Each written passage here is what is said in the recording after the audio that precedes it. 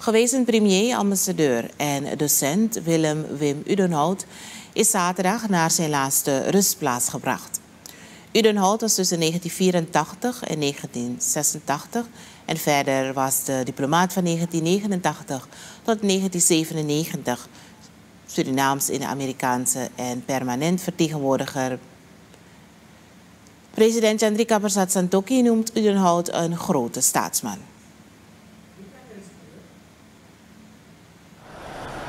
Met het heengaan van Wim,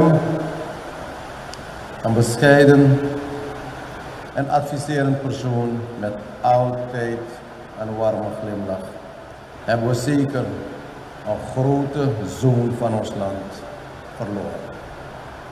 Een Surinamer met een staat van verdiensten op nationaal en internationaal niveau, zodat die niet in de vergetelheid raken.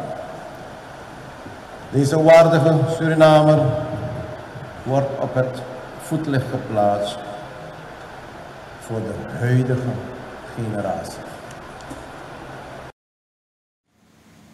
De veelzijdige Surinamer doseerde het vak Engels op verschillende scholen in Suriname, waaronder het Instituut voor de Opleiding van Leraren IOL. Udenhout werd geboren op 29 september 1937 en overleed op 22 mei op 85-jarige leeftijd.